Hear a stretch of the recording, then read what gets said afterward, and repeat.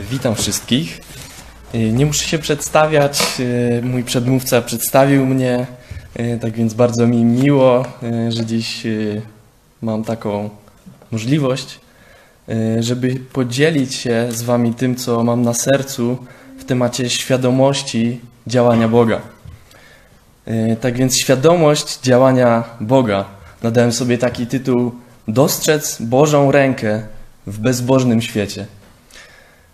Przyszło nam żyć y, może słowo ciekawy, ciekawy czas. To, to nie jest odpowiednie słowo, bo dla wielu y, ten czas jest tragedią, dla wielu y, ten czas może stać się oddzieleniem od swojej rodziny, dla wielu ten czas może stać się czasem trudnym i dla wielu już ten czas taki jest. I historia, którą przyjdzie mi dziś Wam opowiedzieć, przypomnieć coś, co macie w Bożym Słowie u siebie. Y, historia w pewien sposób przypomina dzisiejsze czasy, ponieważ ludzie, o których będziemy dzisiaj mówić, podobnie jak my dzisiaj, musieli chować się przed pewnego rodzaju wrogiem. Dziś dla nas wrogiem y, nie jest y, armia ludzi, dziś dla nas wrogiem nie jest najeźdźca czy, czy ustrój.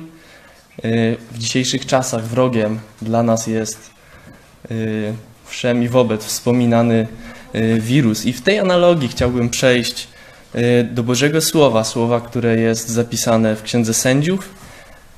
Jest to historia opisana od szóstego do ósmego rozdziału Księgi Sędziów. Zapraszam każdego do otwarcia tekstu, ponieważ Y, nie będziemy czytać y, dokładnie każdego z tych rozdziałów, będziemy bardziej skrótowo przechodzić przez y, kolejne fragmenty. Tak więc zachęcam, żeby patrzeć w tekst i zanim przejdziemy do właściwego czasu, chciałbym, żebyście zapamiętali i najlepiej odpowiedzieli sobie od razu na pytanie po pierwsze, czy dostrzegasz działanie Boga w swoim życiu? To jest pierwsze pytanie. I po drugie, skąd mogę wiedzieć, że to, co dzieje się w moim życiu, to Boże działanie? Tak więc dwa pytania. Pierwsze pytanie będzie nam szczególnie towarzyszyć podczas podróży przez życie Gedeona.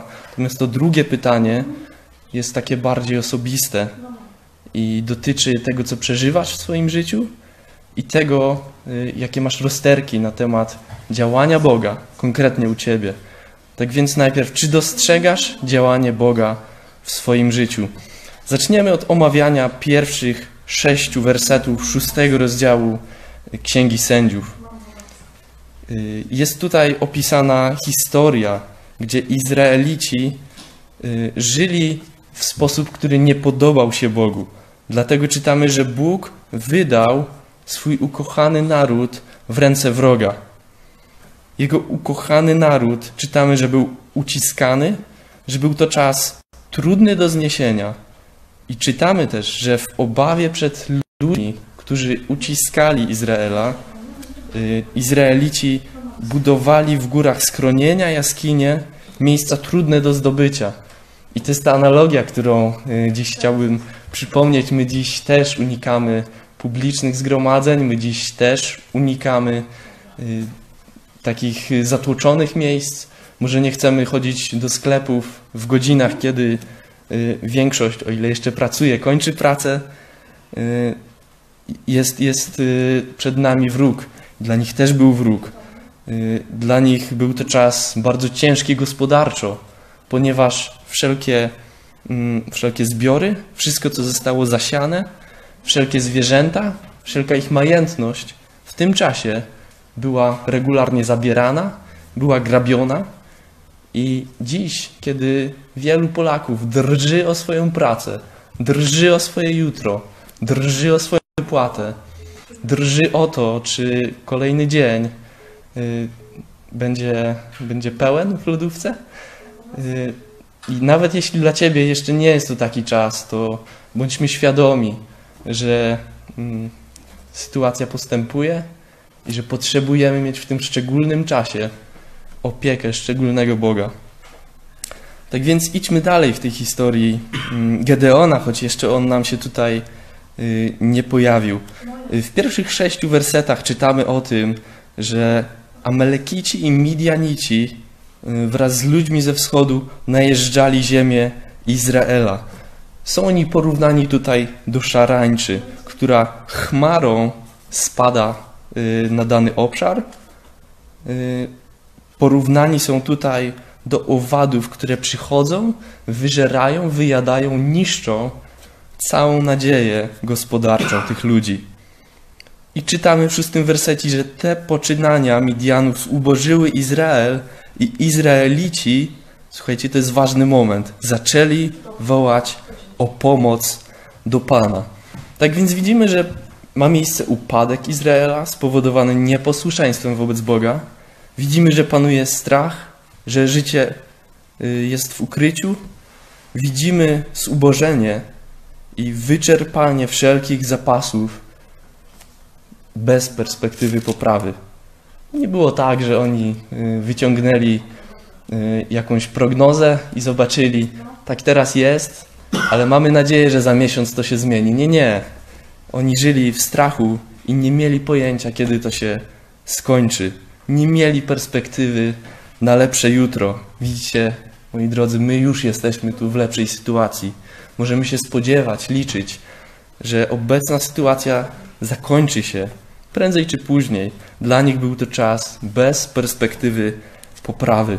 I widzimy w szóstym wersecie, że ten ucisk prowadzi do szukania pomocy u Boga. Ucisk, moi drodzy, w naszym życiu często też prowadzi do szukania pomocy u Boga. Znane powiedzenie, jak trwoga, to do Boga. U nich też tak było. Oni potrzebowali solidnego kopniaka, żeby zorientować się, że w ich życiu jest coś nie tak, że potrzebują tego Boga, że potrzebują kogoś, kto się nimi zaopiekuje, potrzebują zobaczyć, że to, że im się powodzi, nie jest dlatego, że oni są tacy świetni, i Bóg im to pokazał. Wysłał na nich naród, który ich uciskał. I przechodząc y, z analogią do naszego życia, kiedy my upadamy, tak jak upadł Izrael, to zrywamy społeczność z Bogiem. I całe zasoby, które mamy w owocu Ducha Świętego, w moim, w Twoim życiu, w tym momencie przepadają. Przepadła nadzieja gospodarcza Izraela w tym czasie. Nie mieli z czego żyć. I tak my nie mamy z czego żyć, nie mamy co jeść, kiedy odchodzimy od Boga.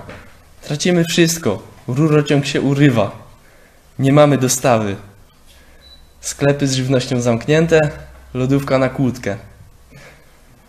W psalmie 102 mm, czytamy w piątym wersecie takie słowa: Spalone jest jak trawa i wyschło serce moje. Zapomniałem jeść chleb. Spalone jest jak trawa i wyschło serce moje. Tu psalwista mówi: Zapomniałem jeść chleb. Natomiast tutaj ludzie, którzy myślę, mieli dostęp y, do czasu z Bogiem, mieli dostęp do relacji z Nim, zostawili tą społeczność Zostawili to, co ich powinno sycić, to, co dodawało im sił. I widzimy, jakie były tego konsekwencje. Myślę, dla nas dzisiaj jest podobnie. Też zbieramy ciężkie konsekwencje tego, kiedy nie spotykamy się z Bogiem, kiedy nie jemy tego chleba, kiedy nie spędzamy czasu z Bożym Słowem, kiedy nie spędzamy czasu na modlitwie. Wtedy jesteśmy biedni, jesteśmy biedacy. To był czas, w którym oni potrzebowali wrócić do Boga i w którym Ty dziś, jeśli widzisz, że nie jesteś w dobrym miejscu, wierzę, że też potrzebujesz. Przejdźmy dalej. Szósty rozdział od siódmego do dziesiątego wersetu mówi o tym, że Bóg w odpowiedzi na wołanie tych uciśnionych osób, Jego ukochanego narodu, przemawia przez proroka. W siódmym i ósmym wersecie czytamy o tym, że Bóg wysyła do nich proroka prorok przekazuje im, przypomina pewne y, poprzednie dzieje, y, w których Bóg wspaniale ratował swój ukochany naród. Bóg mówi o wyrwaniu y, tego narodu z niewoli Egiptu. Bóg mówi o jego pomocy podczas podboju Kanaanu. I w obu tych sytuacjach, jeśli prześledzimy Boże Słowo, zobaczymy niesamowite Boże cuda. Widzimy prowadzenie przez Boga w obłoku, widzimy rozstąpienie wód, kiedy uciekali przed Egipcjanami, widzimy, że za Izraela podczas podboju y, ziem Kanaanu walczyły szerszenie, widzimy, że czasem na wrogów spadały kamienie, widzimy, że jest naruszony czasem i porządek astronomiczny, bo dla ludzkiego oka zatrzymało się słońce. Więc są to niesamowite wydarzenia. Są to wydarzenia, które nie są codzienne, które nie mogą stać się za sprawą człowieka. I tymi wydarzeniami prorok przekazuje Boże wiadomości. Bóg wskazuje tutaj, że problemem nie jest zamknięcie brami możliwości od strony Boga. Bóg wskazuje tutaj, że problemem jest nieposłuszeństwo Izraela, a to nieposłuszeństwo tak konkretnie objawiało się poprzez bałwochwalstwo. I czytamy o tym w dziesiątym wersecie. Bóg mówi: Ja, Pan, jestem waszym Bogiem. Nie czcijcie bóstw Amorytów, w których ziemi mieszkacie. I Bóg mówi: Lecz wy nie byliście posłuszni mojemu głosowi. W trenach czytamy: Na co może uskarżać się człowiek, póki żyje? Niech się uskarża na co, moi drodzy? Na swoje własne grzechy. To jest to, na co powinien człowiek zwrócić uwagę, kiedy zaczyna się dziać źle. Czy jest jego życie, jego serce, jego plany, jego myśli w porządku przed Bogiem? Jeśli nie, masz co naprawić. Możesz się zapytać, czy jesteś w dobrym miejscu i czy chcesz się zmienić. To są dwa ważne pytania. I teraz przejdziemy y, do takiej analogii.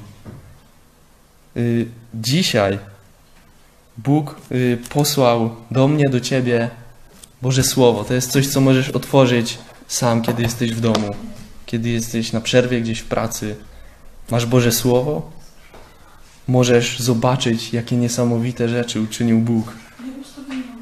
Moi drodzy, widzimy, y, kiedy czytamy, szperamy w Bożym Słowie, że to życie z Bogiem może być żywe, może funkcjonować, że to życie to nie jest y, religijna opowiastka.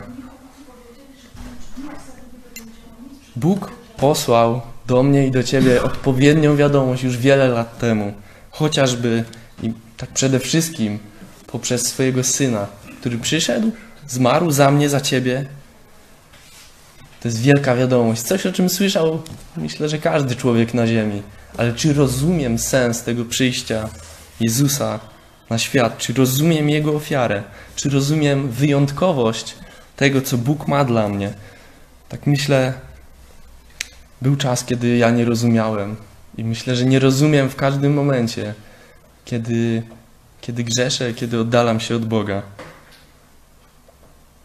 Już na początku Biblii możemy przeczytać o pewnym problemie, który dotyczył zarówno ludzi opisanych za czasów Gedeona, który dotyczy nas dzisiaj tutaj i który dotyczył pierwszych ludzi. W pierwszej Mojżeszowej, w czwartym rozdziale, w szóstym, siódmym wersecie czytamy słowa skierowane do człowieka, który miał w swoim życiu pewne wątpliwości. Może zastanawiał się, co jest dobre, a co jest złe. I Bóg kieruje do tego człowieka takie słowa. Dlaczego jesteś zagniewany? I dlaczego tak posmutniałeś? Gdybyś postępował właściwie, czyż wszystko nie byłoby w porządku? Ponieważ jednak tak nie postępujesz, u progu czyha grzech. Gdyby chciałby tobą zawładnąć, lecz ty masz nad nim panować. Widzimy, że dla każdego z nas jest miejsce na wybór. Codziennie, w wielu sytuacjach, kiedy przychodzi ci może podpisać lewą umowę, kiedy przychodzi ci skłamać dla dobra sprawy. To jest moment, który opisuje tutaj Księga Mojżeszowa. To jest moment, w którym czytamy, że u progu czyha grzech, kusi cię, chciałby tobą zawładnąć, ale Bóg mówi, lecz ty masz nad nim panować. Widzimy, że dla każdego z nas jest miejsce na wybór. Codziennie, w wielu sytuacjach, kiedy przychodzi ci może podpisać lewą umowę, kiedy przychodzi ci skłamać dla dobra sprawy.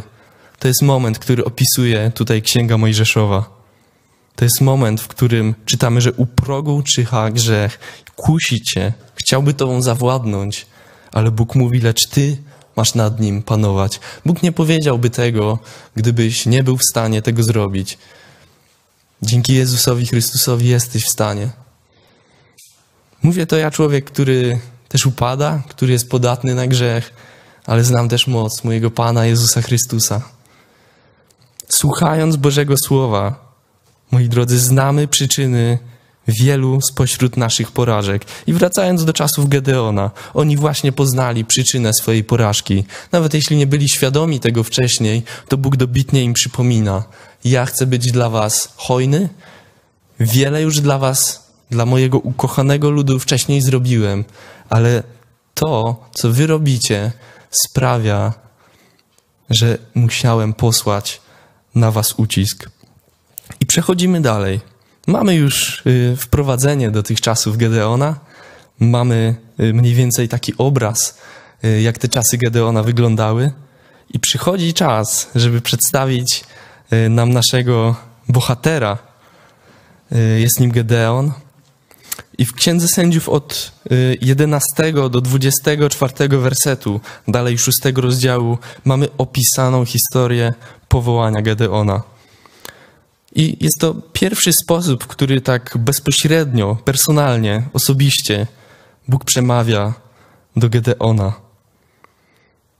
Jest to pierwszy opisany sposób, w którym widzimy, mamy niezbity dowód na to, że Gedeon ściera się z działaniem Boga. To na ile jest ten Gedeon świadomy tego, y, że ma właśnie kontakt z Bogiem, y, zobaczymy za chwilę. Możemy się domyślać, że te słowa proroka, y, które widnieją od 7 do 10 wersetu, y, dotarły także do Gedeona, więc najprawdopodobniej nie był to zupełnie pierwszy kontakt Gedeona z Bożym Słowem w tym czasie. Nie tak ogólnie, konkretnie w tej sytuacji. Gedeon najprawdopodobniej nie pierwszy raz słyszał Boże Słowo. Natomiast tu widzimy, że słyszy to Boże Słowo tak osobiście, tak personalnie. Odbywa się to za pośrednictwem, czytamy anioła Pana. Ma miejsce rozmowa. W czternastym wersecie, y, kiedy mija już trochę z tej rozmowy, kiedy to Gedeon y, ma pytania, ma wątpliwości, kiedy trwa rozmowa, anioł Pana zwraca się do Gedeona i posyła go Pan zwraca się tu do Gedeona: idź w tej swojej mocy i wybaw Izraela spod władzy Midianu. Czyż cię nie posyłam? Konkretne słowa, konkretne posłanie. Ale Gedeon wchodzi tu w polemikę i, i mówi za przeproszeniem, mój panie, czym mam wybawić Izraela? Zobaczcie, on jest tutaj pełen niewiary, jest pełen wątpliwości. On widzi, jak y, wygląda sytuacja jego narodu, on widzi, jak wygląda sytuacja gospodarcza, on widzi, że ludzie będący wokół niego żyją w ukryciu, żyją w strachu, nie mają nic, nie mają co do garnka włożyć, nie mają nadziei i nie mają perspektywy lepszego jutra. I w tej pełnej obaw scenerii Gedeon pyta, czym mam wybawić Izraela? Ja wierzę, że to, co mówi tu Gedeon, nie jest y, kpiną, ale jest realnym y, przeanalizowaniem sytuacji. Jak mam wybawić Izraela? I Bóg odpowiada w tych różnych wątpliwościach Gedeona – ponieważ ja będę z tobą. Pobijesz Midianitów co do jednego.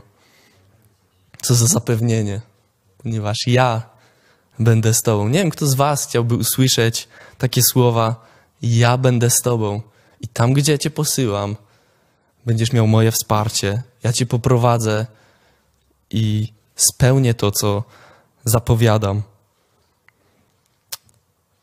Gedeon pozostaje pełen obaw i pytań. Słuchajcie, nie dziwię mu się.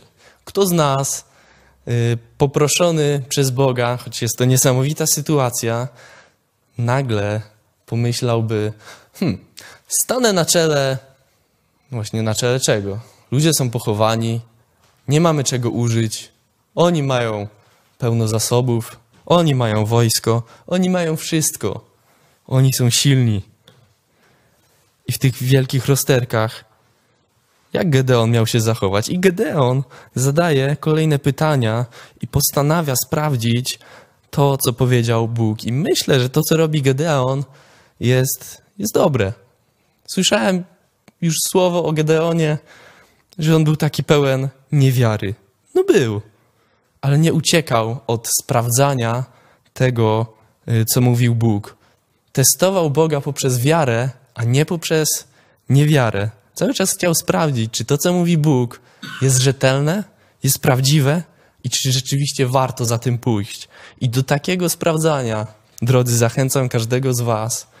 Sprawdzać możemy przede wszystkim w Bożym Słowie. A kiedy rzeczy nie są tak bardzo czarno-białe, pytajmy Boga. Pytajmy Boga. Zobaczymy, jak może odpowiedzieć Bóg. W sytuacji, y, którą cały czas tu omawiamy, sytuacji spotkania anioła Pana z Gedeonem, widzimy, że dochodzi do testu. Od 17 do 20 wersetu y, czytamy o pewnego rodzaju próbie, którą Gedeon wyznacza tutaj. Prosi, aby anioł Pana poczekał, aż ten Gedeon wróci i przyniesie dar. I anioł odpowiada: Dobrze, zostanę, aż wrócisz. Gedeon w końcu wraca.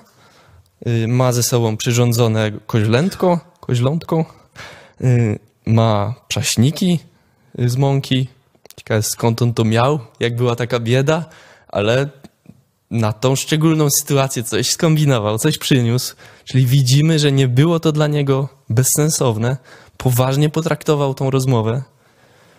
Miał mięso, polewkę w garnku i wszystko to przyniósł pod to miejsce spotkania. I czytamy, że w tym momencie, od 20 wersetu, anioł Boży daje mu instrukcję. Mówi, włóż to mięso, prześniki na skałę, polewkę wylej. Gedeon odkłada jedzenie, być może ostatnie porcje, które miał, żeby zobaczyć, czy osoba, z którą rozmawia, jest rzetelna. Myślę, że miał w głowie, że może jest to czas, kiedy wreszcie Bóg ujmuje się za swoim ludem. Jest to bardzo dobra postawa, moi drodzy. Jest to bardzo dobra postawa, która mi pokazuje, że warto jest zaryzykować te zasoby, które mam, żeby zobaczyć, czy Bóg jest w tym miejscu. Jeśli coś obiecuje, jeśli coś zapowiada, to bądźmy jak Gedeon. Nie bójmy się. Nie bójmy się słuchać Boga. I anioł Pana wyciąga laskę, którą trzyma w ręce, dalej od 21 wersetu. I ogień spala, trawi to jedzenie, które przynosi Gedeon. I anioł Pana znika. Anioła Pana już w tym miejscu nie ma. I kiedy Gedeon orientuje się, co tu się w ogóle wydarzyło, co tu się podziało w tej sytuacji, nagle zaczyna mu, myślę, parować mózgownica i zaczyna zdawać sobie sprawę, co tu się odegrało. I kiedy zdajesz sobie z tego sprawę, popada w ogromny strach. Nogi mu się mogą trząść. Widzimy to po tych słowach, które mówi. Gdy Gedeon pojął, że to był anioł Pana, wykrzyknął: Ach, mój wszechmocny Panie, przecież ja twarzą w twarz oglądałem anioła Pana. Słuchajcie, on się wystraszył. Nie wiem, jakby się zachował w sytuacji Gedeona, ale on się mocno przestraszył. Być może dziś też się boimy o nasze życie, o zdrowie naszych bliskich, o naszą przyszłość, ale ten strach, który miał Gedeon, podejrzewam, że był przeszywający. Czytamy, że Gedeon miał w swoim sercu ogromny, ogromny lęk. Ale to, co jest charakterystyczne dla Bożego działania, dla Bożych planów, dla współpracy, albo raczej podążania za Bogiem, to jest Boży pokój. Kiedy wchodzisz y, w sprawy służby, kiedy wchodzisz w nowe rzeczy w swoim życiu i nie masz Bożego pokoju, jest to miejsce, żeby się zastanowić, czy na pewno warto w tym miejscu być, czy na pewno Twoja noga ma stać w tym miejscu, gdzie nie masz Bożego pokoju. I Gedeon miał strach, ale w 23 wersecie czytamy, że Pan go jednak zapewni, zapewnił: bądź spokojny, nie bój się, nie umrzesz. I to jest taki szczególny moment, kiedy wchodzimy w coś dla nas nowego, nieznanego. Być może boimy się, i Pan przychodzi ze swoim pięknym, kojącym pokojem i mówi: Nie bój się. On ma tą sytuację w swoich rękach.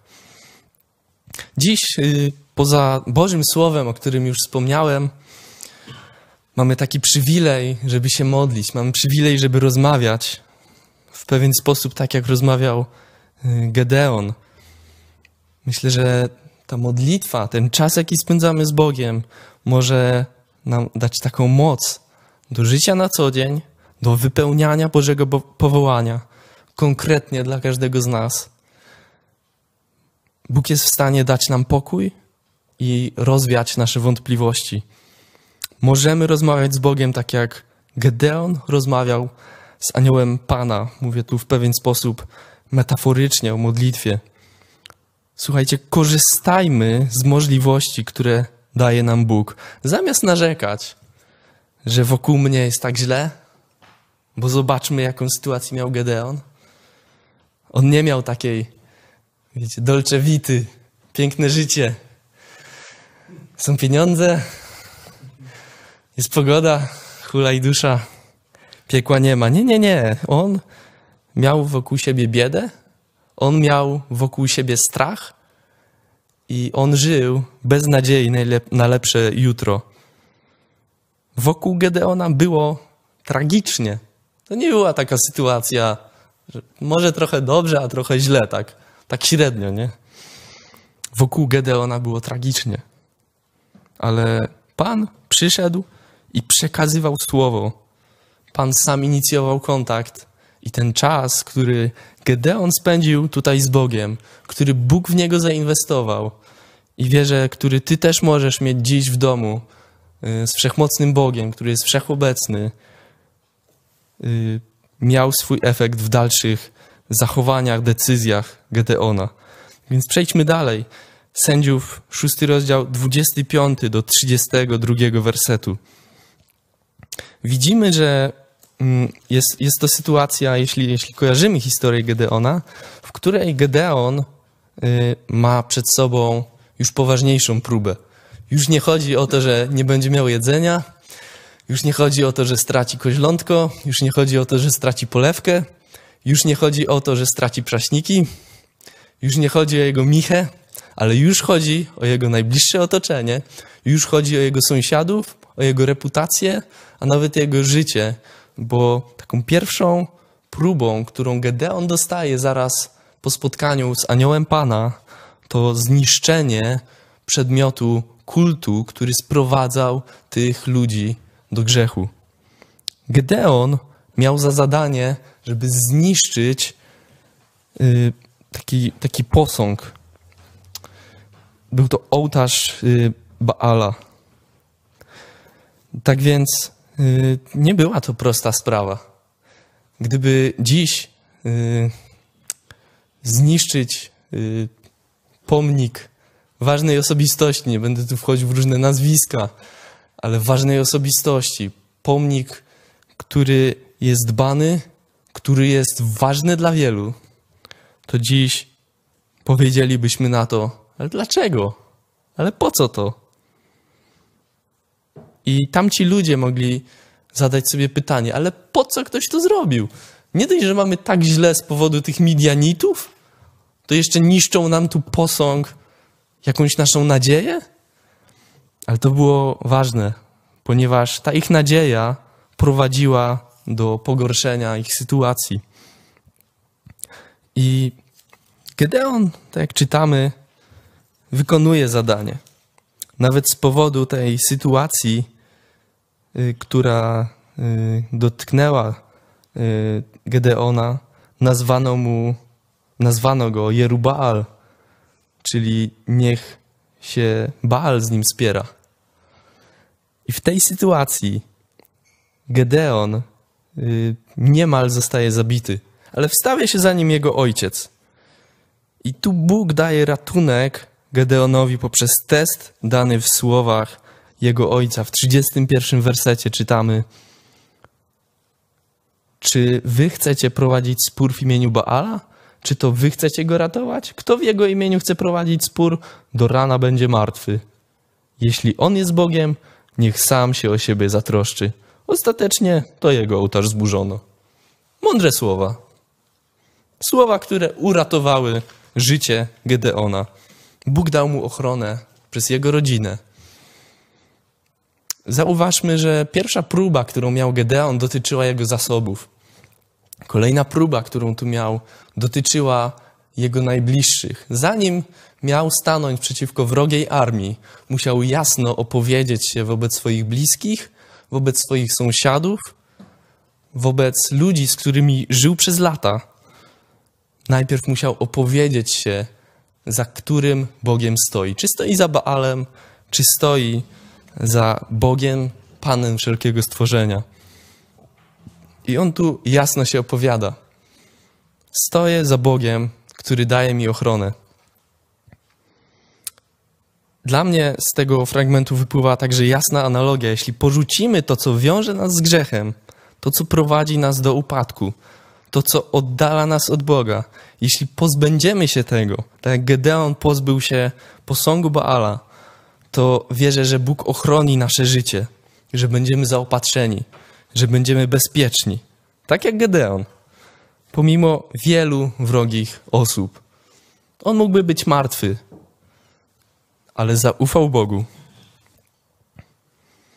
Być może obawiasz się, y, że jeśli pójdziesz za Bogiem, to stracisz zaufanie u swoich bliskich, u swoich znajomych, zaufanie swojej rodziny, zaufanie swoich sąsiadów. I nawet jeśli, to zobacz, Bóg zaopatrzył tu Gedeona.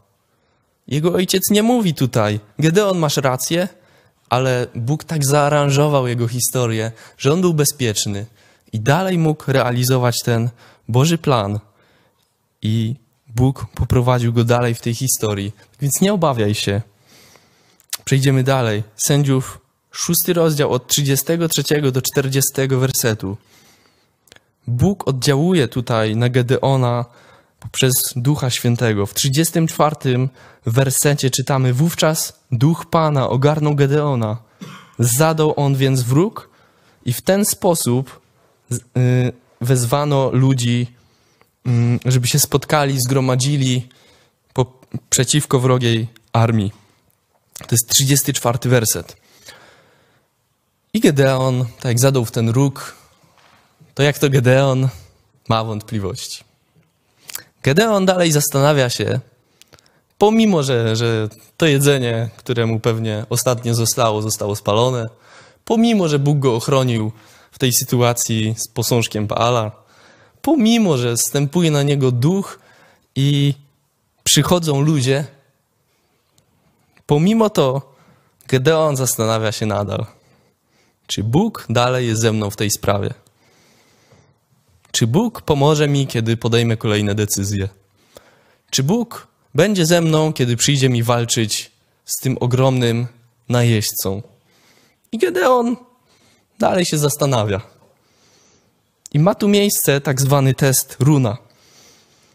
Najpierw y, Rosa, y, powiem skrótowo, mam nadzieję, że kojarzymy historię, a jeśli nie, to przeczytajmy sobie od 33 do 40 wersetu to możecie zrobić u siebie. Natomiast ja skrótowo powiem, że w tym miejscu Gedeon y, stawia przed Bogiem pewien test i w jednym momencie mm, tak zwane runo ma być suche, a rosa wokół niego ma być mokra, a w drugim momencie rano y, nie ma być rosy, y, a tylko runo ma być mokre. Sytuacja możliwa dla nas, kiedy y, schować by raz to runo do garażu i wystawić rano, jak już starosa minie. A w innej sytuacji moglibyśmy, jak nie ma tej rosy, podlać konewką runo i wtedy, wtedy też to jest możliwe. Ale tutaj czytamy, że bez ingerowania garażem albo konewką, to runo jest raz suche, a raz jest mokre. Dla Gedeona był to jasny przekaz, choć tak jak y, zobaczymy dalej, Gedeon to często niepewność. Gedeona cechuje niepewność.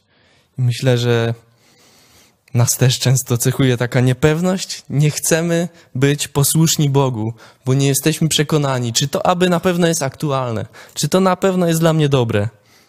Taki właśnie był Gedeon. I zobaczmy, jaka będzie dalsza część jego historii. I wracając jeszcze do tego Ducha Świętego, który stąpił na Gedeona, także zaczął działać, chciałem powiedzieć, że Boże Słowo mówi, że Boże dzieci mają Ducha Świętego, ale bywa, że czasem nie jesteśmy pewni. Ale możemy w takiej sytuacji pytać Boga, a przede wszystkim sprawdzić w Jego Słowie, czy to, y, co planujemy, to, co chcemy zrobić, to, co wierzymy, że jest dobre, zgadza się z Bożymi zamiarami. Wobec służby, wobec rodziny, wobec życia, wobec decyzji, wobec przyszłej pracy, wobec może jakichś planów w związku z aktualną sytuacją epidemiologiczną. Cieleśnie jednym z najszybciej występujących symptomów niedożywienia jest, nie wiem czy wiecie, ślepota. Człowiek najszybciej traci wzrok. I tak jak czytałem z Psalmu 102, piąty werset mówi: Spalone jest jak trawa i wyschło serce moje. Zapomniałem jeść chleb. Kiedy zapominamy jeść chleb, kiedy zapominamy jeść Boże Słowo, to pierwsze, co zanika z naszych zmysłów, to jest wzrok. I nie widzimy, jak postępować, nie widzimy, jak dobrze żyć. Tak więc sięgajmy do tego słowa, kiedy nie jesteśmy pewni. Gedeon sprawdzał Boga przez test runa. My patrzmy w Boże Słowo. Podobnie jest w tej duchowej rzeczywistości. Nie widzimy, jak iść. Czytamy w innym miejscu, że słowo jest pochodnią dla naszych nóg. I kiedy nie utrzymuję kontaktu z prawdziwym Bogiem, jeśli mam zerwane łącza z Duchem Świętym, jeśli nie korzystam podczas życiowych decyzji z fundamentu, jakim jest Boże Słowo, to nie zobaczę życiowych planów Boga dla mnie, nie poznam Jego woli i to, do czego służy wzrok. Będę ślepy. Kończąc już, będę szedł dalej przez historię Gedeona. W siódmym rozdziale, przez y, pierwsze wersety, dowiadujemy się, y, że Gedeon y, wstaje wczesnym rankiem, kiedy ma wokół siebie wojowników i potrzebuje zrozumieć, że zwycięstwo zależy od Boga. I Bóg mówi do niego: Wojsko, które jest z tobą, jest zbyt liczne na to, abym wydał Midianitów w jego ręce. Po ludzku jest to totalnie nielogiczne. Jak to wojowników jest zbyt wielu, żeby wygrać? To powinno być ich może z siedem razy więcej. A tu Bóg mówi: No jest was za dużo, panowie. To się nie uda. Ale dlaczego? Jeśli pomyślimy, w Boży sposób, jeśli pomyślimy taką Bożą logiką, to Bóg chce, aby Jemu y, oddać chwałę. I Bóg mówi tutaj, że Izrael mógłby się wynosić nade mnie, twierdząc, sam własną ręką się wybawiłem. I Bóg oczekuje chwały dla siebie. Bóg oczekuje, mm, żeby dostrzec, że to On daje nam codziennie chleb na nasze półki, to On daje nam do naszych lodówek to, co nam jest potrzebne. On daje nam pracę. I dziś szczególnie możemy to zobaczyć, kiedy y, wielu ma problem y, z pensją, kiedy wielu ma problem y, być może z zakupem pewnych produktów. Widzimy, że nie jesteśmy tak wielcy, jak nam się wydaje. Salomon wspomina w jednym miejscu co do takiego życia w bogactwie. Księga Salomona, nie jest to Salomon. W przypowieściach Salomona w 30 rozdziale, w, 10, w 9 wersecie czytamy, mm, że ten człowiek y, chce nie być zbyt bogaty y, po to, aby y, nie powiedział pewnego dnia, kim jest Pan. Żeby nie pomyślał, ja zależę tylko od siebie. Podobnie było w tej sytuacji armii Gedeona. Ich było za dużo i później Bóg odsiewa tych ludzi. Zostaje, nie wiem czy wiecie, 300. 300, moi drodzy, tak niewielu. Jak taką małą garstką pokonać wielkiego wroga?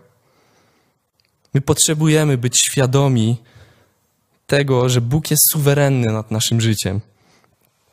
I dalej czytamy, że ma miejsce napięta sytuacja. Gedeon dalej, jak to Gedeon, nie wie, co ma zrobić. Gedeon, jak to Gedeon, boi się. I widzimy, y, że Pan posyła go y, do spotkania y, z wrogiem.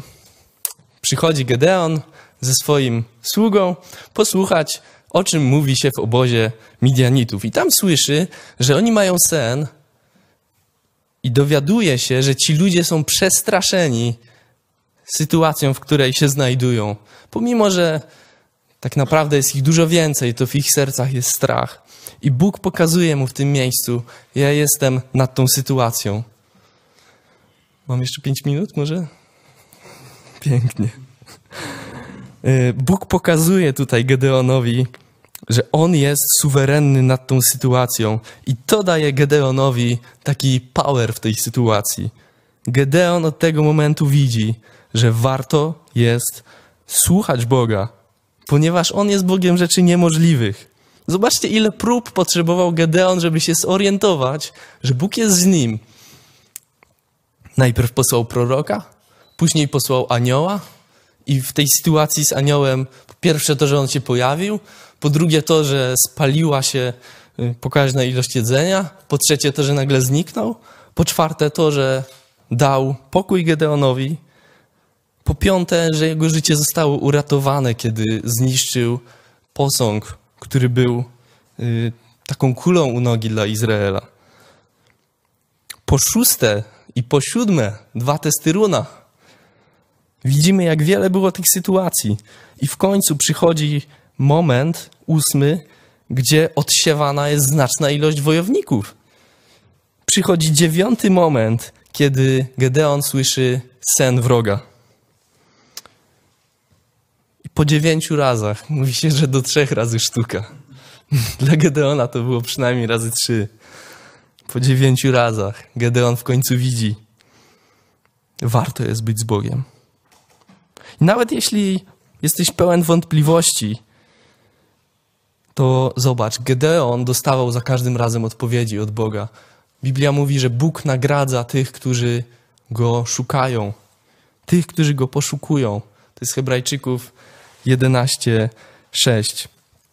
W dalszej części historii, już y, zupełnie kończę.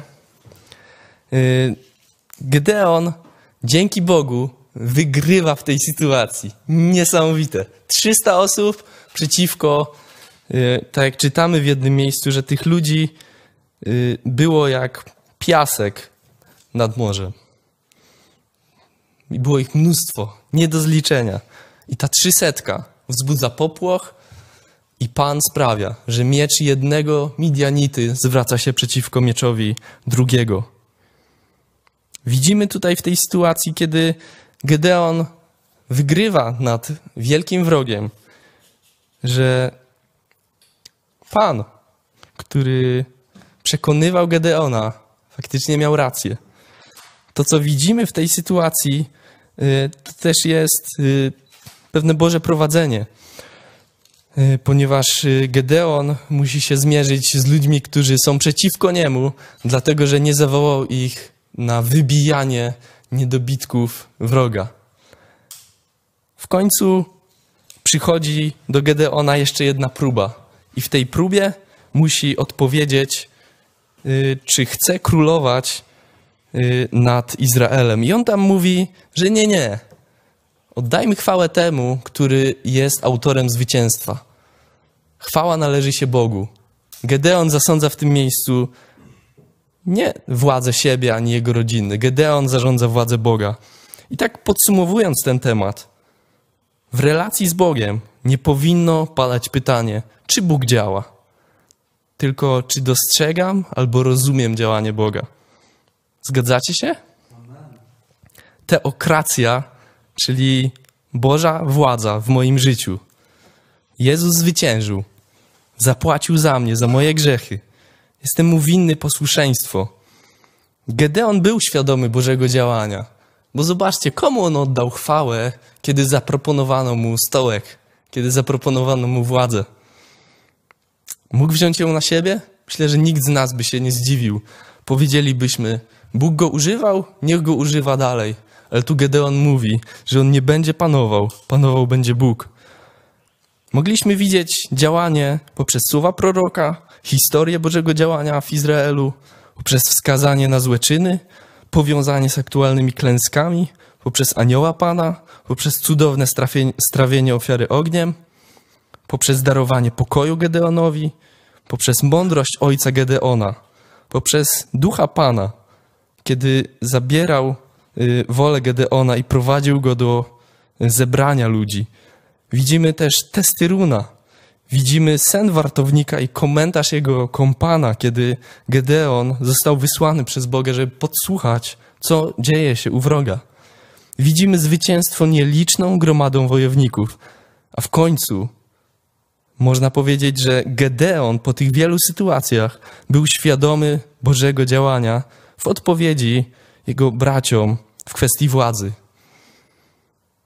I teraz kończąc, jak ty interpretujesz wydarzenia mające miejsce w twoim życiu? Czy tak jak Gedeon zastanawiasz się, czy to jest na pewno Boże działanie? Czy jesteś pełen wątpliwości, tak jak na początku był Gedeon? Czy może przypominasz Gedeona pod koniec historii, kiedy już wiedział, co ma robić? Bóg działa. Pytanie, czy jestem tego świadomy? Amen.